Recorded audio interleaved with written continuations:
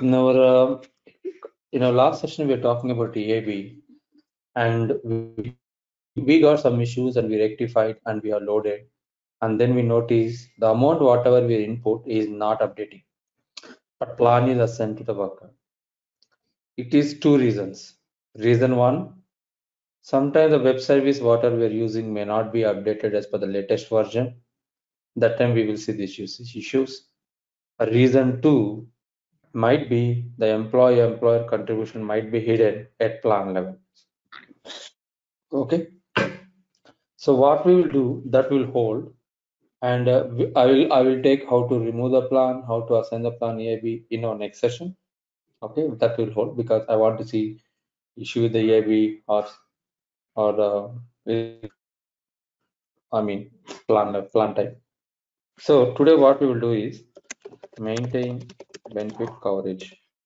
So, so we have created so far additional retirement, insurance, healthcare. Today we'll we'll create these two plans and we'll pick up open enrollment from tomorrow. Okay, I don't think we have created insurance. insurance we are not created. Oh, no, is we it? have not. Oh, thanks for reminding. Then is it okay? Yeah, even I'm seeing that. Right, sir. Agree. So, oh, And this is probably one area that we might want to spend a little bit more time. exactly. um, So target. is, yeah, a bit, bit complex. There's different insurance, there's different um, rate and other things that are involved with it. So yeah, I mean, this is one area that I would like you to spend a little bit more time on. Definitely, definitely. Thank you for it. Uh, so I'm under the assumption, but for what we created relationships and also for healthcare. We did healthcare, yeah, we did not do insurance. Okay, okay, okay. Actually, healthcare also required dependents, insurance also required dependents. Okay, it's my bad. Thanks for highlighting that. Not a problem. So definitely it will take more time, uh, two or three sessions for sure. Okay, so let's create this these two plans also today's session, and tomorrow we'll pick up insurance and then we'll proceed to the open enrollment. Okay. Okay. Right. So HSA, uh, the spending account is, is exclusive for USA, not for any other countries I have seen. This falls under flexible spending account. Either the plan employee can choose and contribute. And employee at the at the end cannot be grouped the contribution amount for both. Okay. So let's see how to create them. Straightforward and straightforward only thing, only thing was per year how much the employee can pay based on the number of paychecks we have to define. Okay, let's create spending account. I will create one benefit cover benefit uh, uh, provider for this. Or let's reuse MetLife. Easy. Okay, I'm going. Sorry, let me start here. HSA. I'll create one coverage type.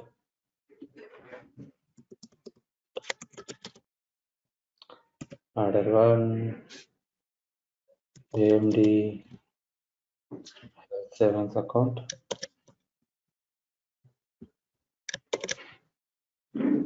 So we would like to allow beneficiary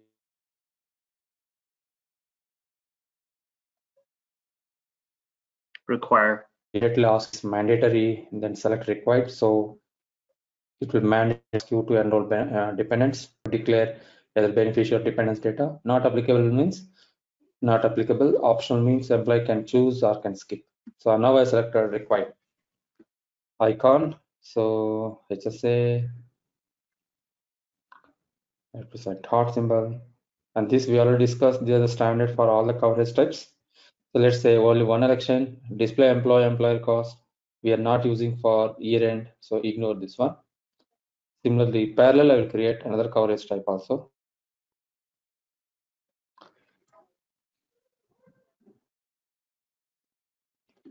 To be honest, based on the workbook, we will create what is the purpose, not aware when our customers care. So, okay. AMD, let me call it pending account itself. are flexible.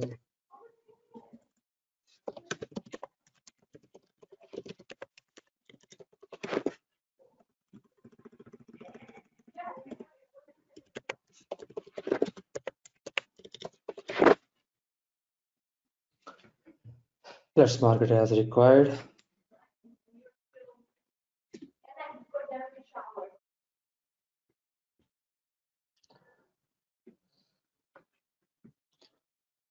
right and uh, yeah let's say this will for cobra. So now remember i'm selecting cobra because at uh, once we discuss all our topics we will also going to discuss about cobra. There we'll will play around this plan. I enable cobra here okay? Okay. Sir now you please help me. We created a benefit coverage type. So what is the next task we have to create?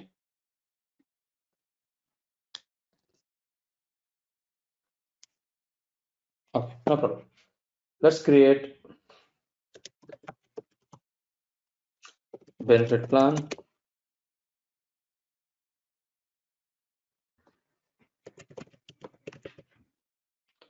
Provider we'll select MetLife. Plan type let's select. First we'll do health savings account. We'll include employee and dependents health savings account MD health savings. No plan no descriptions participating benefit group USA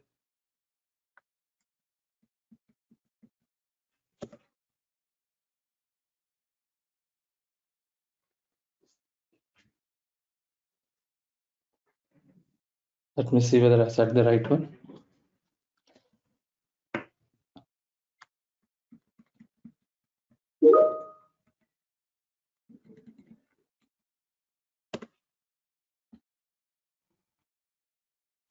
So today we'll talk about worker plan eligibility rule, currency USD, frequency, let me say monthly, same the benefit group, and then who are eligible, employee plus family. So if you want to include employee, spouse, etc. So let's select only employee family here. If it is an employee, maximum employee can contribute around uh, uh, per, per annum, right? This per month will take 20 uh, 50 dollars. Minimum is 10 dollars. Employer also contributing standard amount of 25 dollars. Going into the family, 100 is the maximum, and minimum is uh, since it's a family 20 dollars employer contribution is straight forward 25 okay. So straightforward plans are any questions here?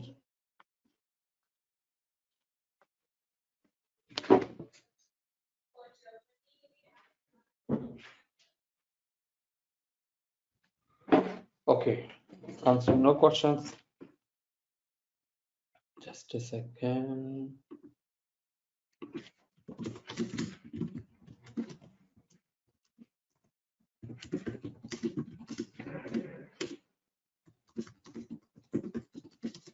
Did you scroll up? This is the flexible spending account.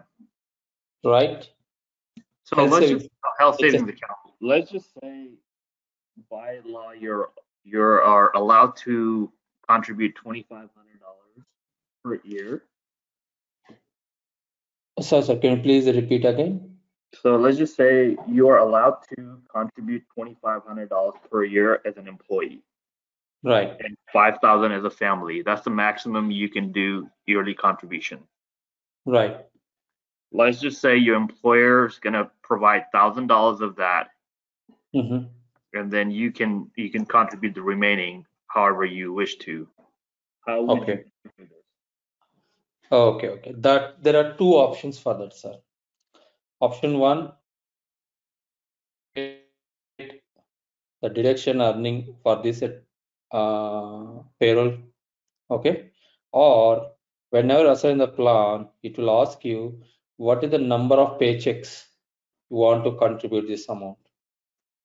I will show that one. Let's just But- 20, let's just say 26 paychecks. They're on a biweekly. Okay. Mhm. Uh, can you, I'm sorry, can you repeat the question again if you don't mind? So let's just say for employee, by, you know, this is what the rule is here, where for, you can only contribute $2,500 per year as an employee, Maximum contribution. maximum contribution. Hmm. However, the, if you sign up for this, the employer is gonna pay $1,000 and you as an employee can contribute up to $2,500. Okay, can I put in this way? Employee, employer can contribute maximum of thousand dollars. so two thousand five hundred dollars per annum. combined is 2500 1000 from employer and the remaining $1500 can come from the employee okay, makes sense. Let's do one thing. I will go with employee to give an understanding. So minimum an employee, so two thousand five hundred, and he is a bi-weekly, you're saying, right? Let's change the frequency to bi-weekly. Okay, just a second. So two thousand five hundred dollars, thousand is employee, which means fifteen hundred dollars by employee in twenty-four paychecks divided by 24. 26 on biweekly Okay.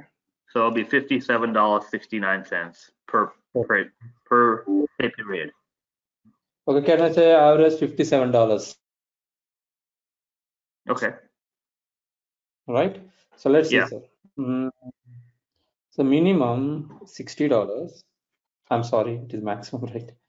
Maximum in one paycheck also if it's flexible to pay, let's say, okay, thousand five hundred dollars as his maximum can contribute.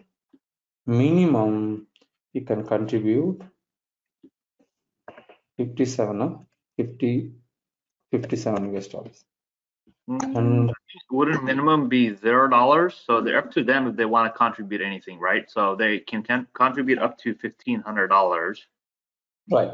So two options, sir. One is you want to make mandate employee has to contribute. Flexibility, if you give absolutely the plan itself flexibility, employee can contribute anytime, but it should not be more than this much, right? correct Go with your solution. I will go with zero. And employer contribution is maximum of thousand dollars. Correct. Let me give it as zero here. I will update at the worker level. Now let me first I want to check test this one to clarify, even for me learning. So I will proceed with the rest of the task. Create event.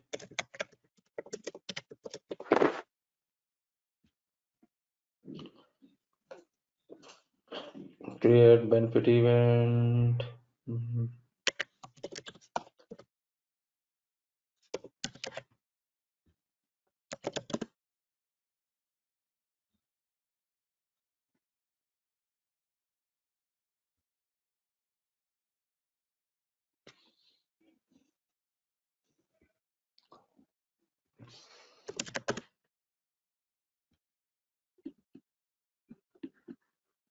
So usually there's not an HSA event.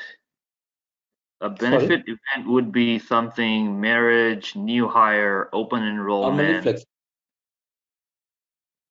Uh, go ahead, go ahead. Let me repeat you. Can you please repeat your question again? So I'm just saying, uh, normally there's not an event type called H- HSA. Mm-hmm. There's usually an event, right? There's open enrollment event, there's a new hire event, there's a marriage event, a Right. birth of a child event. I'm not sure why you're putting HSA event there. Right. Okay. That doesn't, that doesn't, yeah, there, I mean, it doesn't exist.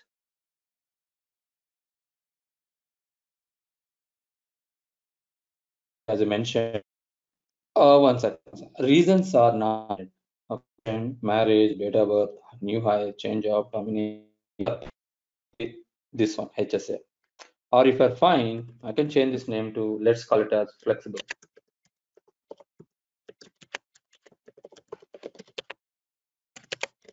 I'm going to include my HSCFSA here. Okay.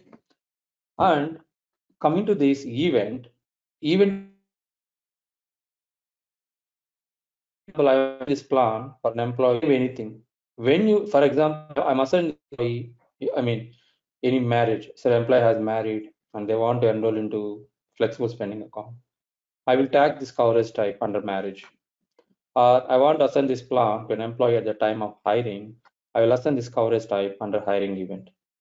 Event you can configure anything, sir. Only uh, the reason, like why are you assigning the plan? Okay, why are you removing the plan? That is defined by this event. And sometimes I may want to assign this plan. I gave an opportunity, opportunity to an employee to enroll through the uh, open enrollment. But unfortunately, the employee has not enrolled into the plan through the open enrollment. Window has been closed. Now the employee came back and asking us, hey, I forgot to enroll myself, the window has been closed. So alternatively, I have two options. One thing, I have initiate admin correction. Another thing, I can create a standalone benefit event type and enroll these two plans to an employee right? These are called placeholders. Uh, any questions?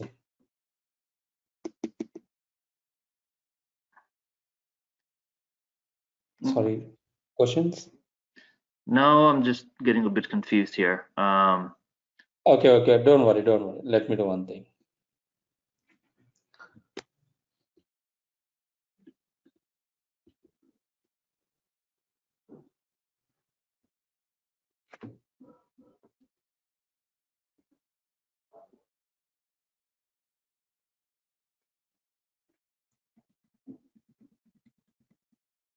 Can you see this? HSA contribution, yeah. So like that, we will create some different events. Okay, if you want to change the contribution chain, let's say I will take your scenario. Employee is supposed to contribute 1,500 US dollars due to some time, thing, some commitments. He agreed to pay at the month. So we should, we need some event, correct? Correct. So we need some place to adjust, correct? So that's the reason putting a standalone one, so HSA. Okay, makes sense. Right. So again, I also agree your statement that absolutely true. If you have different customer has different requirements, so sometimes they will go with the standard ones. They can do correction through admin correction also. In that case, you don't need any additional coverage type at all. Up to their requirement, how they want. Okay. Okay. Right. Merit benefit. Hmm. No.